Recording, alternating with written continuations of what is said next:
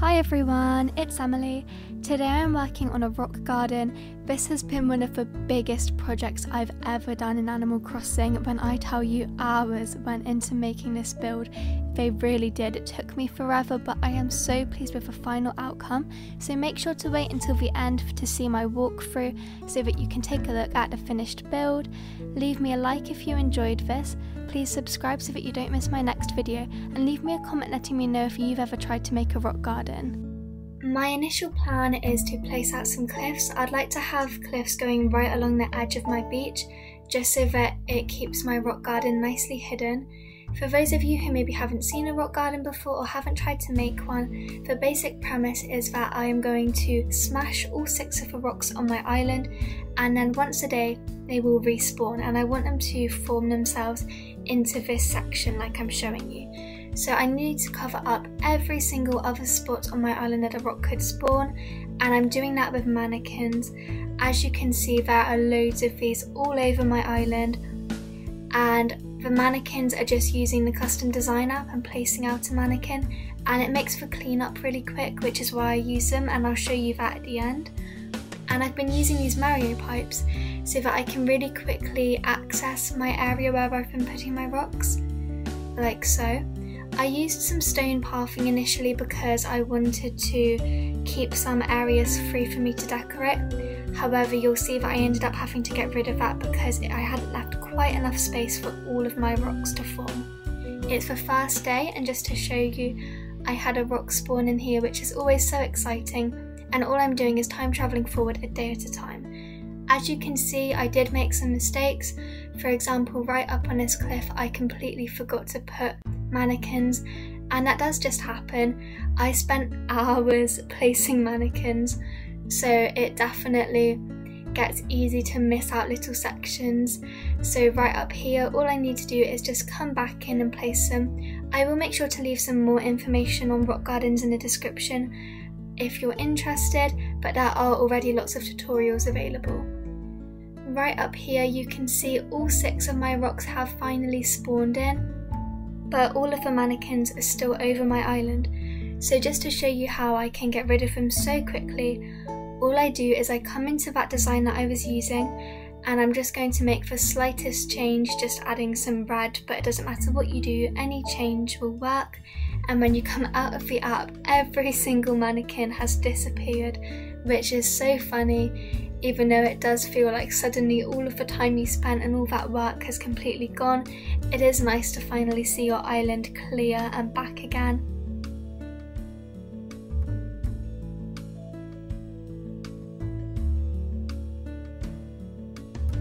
Want to turn my rock garden into a dig site, so what I'm going to use is for dirt pathing and I'm going to lay out some areas that look like they are ready to be excavated or maybe in the process of digging up some fossils, which is why I have so many fossil items to use in this build. Right in this corner I'm going to put some items coming in with these grass and flower codes just to fill it out a little bit more. Had the dinosaur track fossil, which is probably my favourite fossil in the game. I love the big dinosaur footprint, I think it looks so cute. And then I did also use the amber, which is really pretty and I like how it looks golden. So I did decide to use that as well. Into this very back corner, I'm going to bury one golden nugget I know it's golden, but because people can't use shovels on your island, they won't know that it's gold. So that's really just for me to know. And like having that little secret golden nugget that's buried back there, and you can only see it when you look from certain angles, which I think is really cool. This one fossil, I don't know how to pronounce it, but the M um, beginning one, you can see it has a stone look, which is so cute. If anybody does know how to pronounce that, you could let me know in the comments, but I'm not sure. Right here, I'm using this little lizard type fossil. It's so cute, I really do like that. And I'm going to plan out where I'd like to put a tree, one in there, and maybe one here to hide some of my rocks so that they're not as obvious. And I have this Dimetrodon fossil which I wanted to use and I was planning to put it right out here in the middle so that it looked like somebody was in the middle of working with this and maybe cleaning it up but the platform that it stood on looked a bit too man-made so I decided not to put that there and I will figure out a place for it later. And all I'm doing here is using the dirt paths just to remind myself where I want to put furnitures. So I'm going to put the treasure chest over there because I think that should look good. I've got an incline right here which I knew I wanted to use so that you have easy access in. I like to use the natural ramp inclines just because they look so cute and they do match my island theme really nicely. I have a rainforest theme and I'm just helping Lloid pay that off. And so the next day I will have an incline right there which should be really helpful. Coming off of the incline I wanted to use my 9 tile path because I have already planned that I want to put a lot of furniture onto this build and have it be really filled in, I want to have a nice clear path that comes through so that it's easier to navigate. I do like to use pathing to help make my island easier to move around, especially because I sometimes do quite decorating heavy builds. I think if there wasn't a path it might be quite hard to find your way, whereas this should make help make it a bit easier. And I love how the nine tail path looks on the grass. I'm so glad that we've got the grass back. It makes me so happy seeing my island covered in green. Even though the snow was very pretty, this just makes me much happier.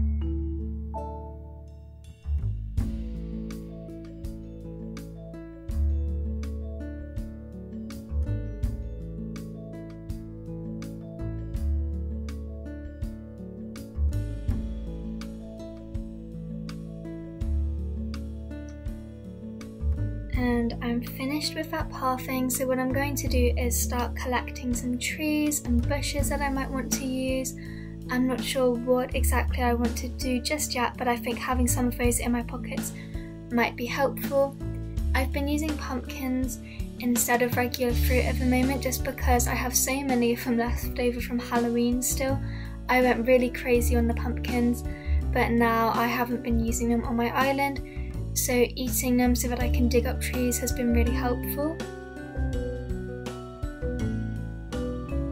And I'm also going to take some of these stunted trees which I've been working with. They look so nice and they're just a bit smaller so that I can have some height levels in my island and that gives some more interest and it can help make it look more natural too. And of course bamboo, which is my favourite type of tree. It's so pretty, it's so luscious looking. I love it.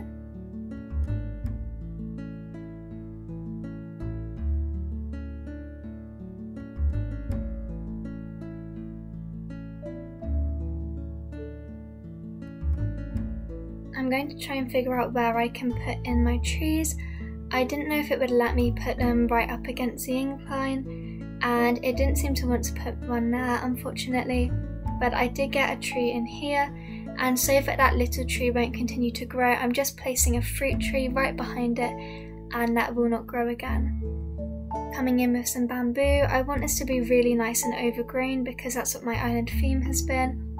I also tried to get a hardwood tree to come in here but I think it turns out you can't put them next to rocks which is why I don't think I was able to get one to spawn into there but that's okay. I think I will just put some more trees up on top of these cliffs so that it has some nice heights between the ground floor and the cliffs and using trees is always a great way to do that and they look so pretty on cliffs.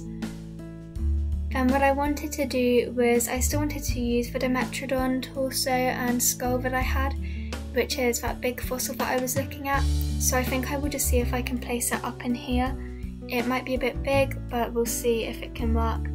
Because I do think it would be nice to have one fully formed fossil instead of only using the little ones like I had been down in that corner.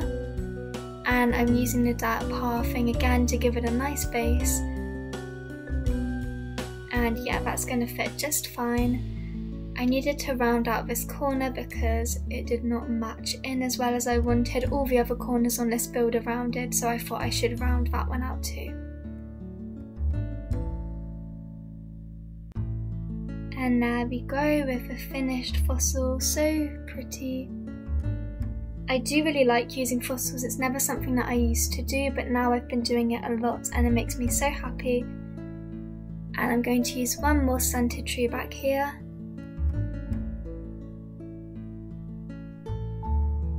That looks good.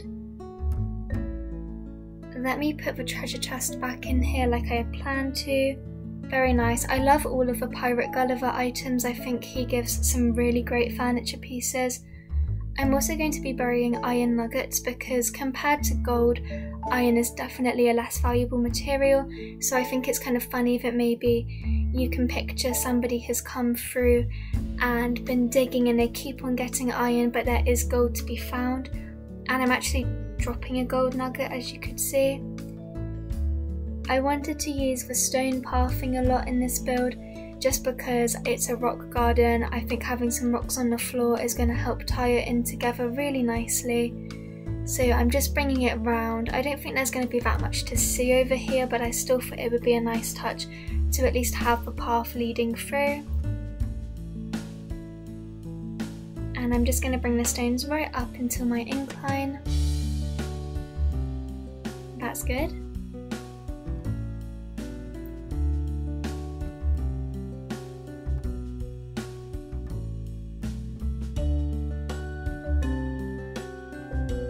I struggled using this fossil quite a bit. I did try placing it on top, but it did not look right. Here I am using some more custom designs just to give a bit of depth between my furniture pieces and the floor.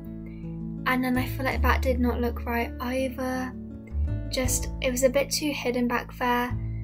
And I'm debating what I can put.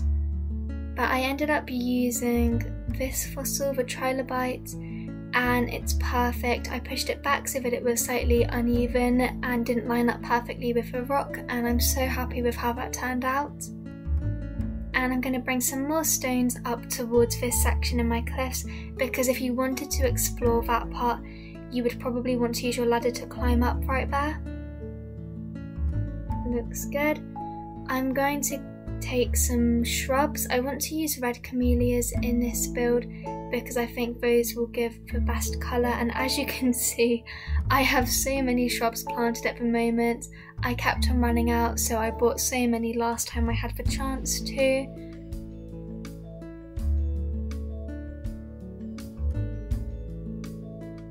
As for flowers, I think I will go with yellows, reds and oranges just because those all tie in really nicely together so that's an easy colour palette to work with and it will be matching my shrubs.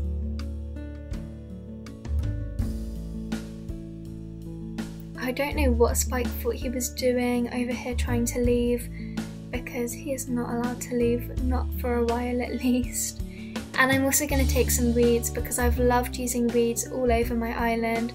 They just look so natural and I'm really excited for once the weeds stop having frost on them because I'm ready for them to go fully green whereas right now you can see they do have a bit of frost on them for some reason. Hopefully it won't be too long until those change.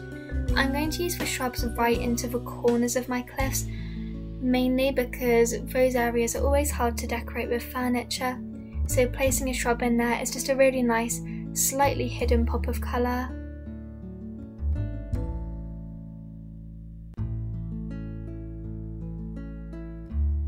so sweet. I love the camellia bushes, though they're lovely and vibrant. Coming in with a lily flower and more custom designs as always to make sure that my island is looking nice and bright.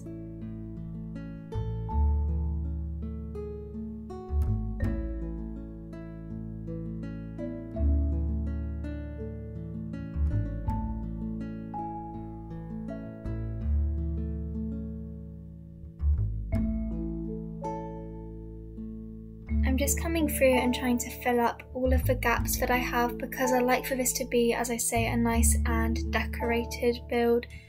Some places in my island won't be as busy as this, but for such a time expensive and just quite a difficult build to make, I wanted to go really heavy with the decorating. so that it would stand out a bit more and I think it looks more impressive but that's just my opinion is that I like to have heavily decorated builds but I do also love really natural and quite minimalistic islands but at least in this area I'm going to try and fill in all the little gaps with codes and reeds and flowers so that it's so nice and busy and there's a lot to look at and explore.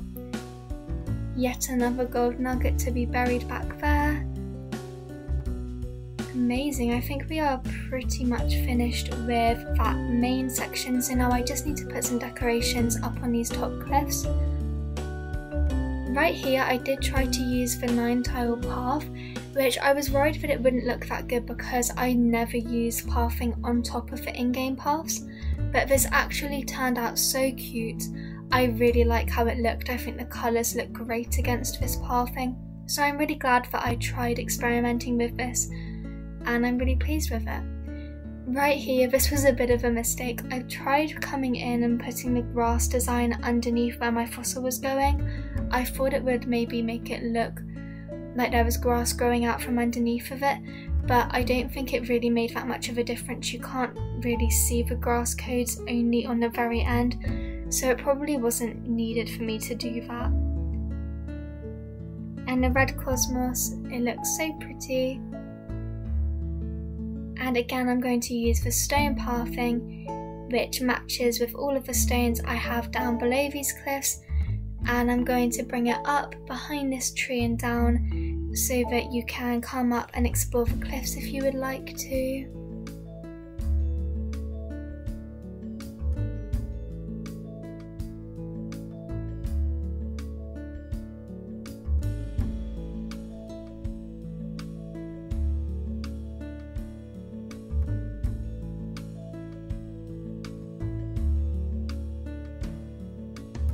Just digging some holes because I ran out of shrubs but I know that I would like to put another camellia bush in that gap so I'm just placing it there to remind myself to do so. And let's bury another nugget.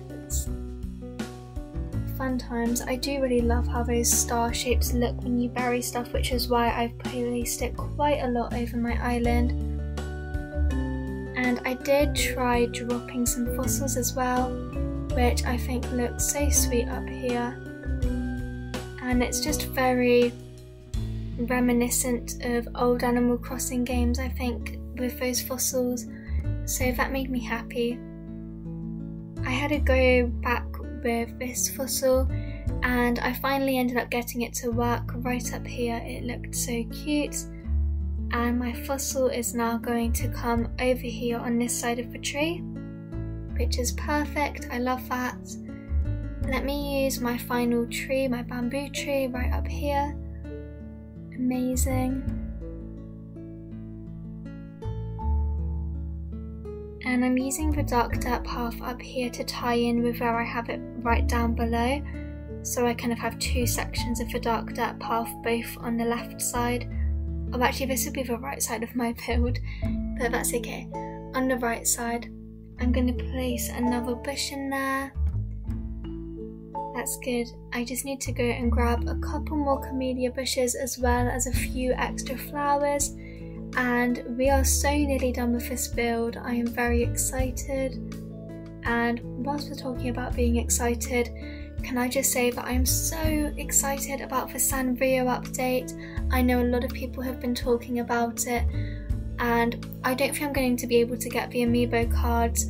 I don't live in America, so we don't have Target, which is where I believe they're being sold, but that's okay. I'm so excited to visit people's islands and get to see these brand new villages. Very exciting. If you haven't seen the update, I do recommend watching the trailer. You can find it pretty much anywhere else on YouTube. And I'm just coming in and finishing up this build and don't worry about how some of those flowers aren't fully grown yet. When I do my final walkthrough, I will make sure to show you how it looks when everything has been grown in.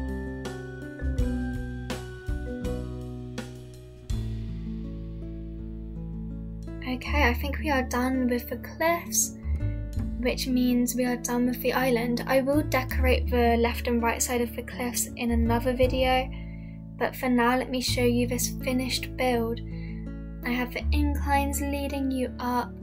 You come down into the rock garden. All of my rocks are here. So much going on. Don't worry about this being practical. I have a lot of materials from the rocks, so I'm probably not going to worry about being able to hit them every day. And if I need to, I can still get enough materials out of this. I really hope you all enjoyed this video. It was definitely worth it. I love how this turned out. Please make sure to leave me a like to let me know if you enjoyed this. Don't forget to subscribe so that you won't miss my next video. And please comment if you have ever tried to make a rock garden, or you can leave me a comment letting me know what you might like to see next. I love this, it's so cute. So many fossils going on. I hope you have all liked watching me make this and maybe been inspired to create your own rock garden. Thank you so much, and until next time, bye!